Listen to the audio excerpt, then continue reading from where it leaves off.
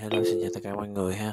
Thì, uh, trong video này sẽ chơi bố World Warriors phiên bản 15.0 bạn nhé. Ờ, thì, ờ, uh, các bạn theo dõi thì ở những video trước đó mình đã mở khóa được nhân vật Scumber Space Saiyan 3 bạn ha. Thì, uh, mình sẽ thử sức mạnh của nó như thế nào, mình sẽ chơi với, con Ozaru này các bạn ha, hai kỹ độ. Ok, mình sẽ chơi một chọi hai các bạn ha bắt đầu. Ta sẽ à, muốn thử xem sức mạnh của hai con khỉ như thế nào ha. Đây, ok. Đầu thế nào ngon khi vô vô vô vô vô. Ăn nhầm gì mày?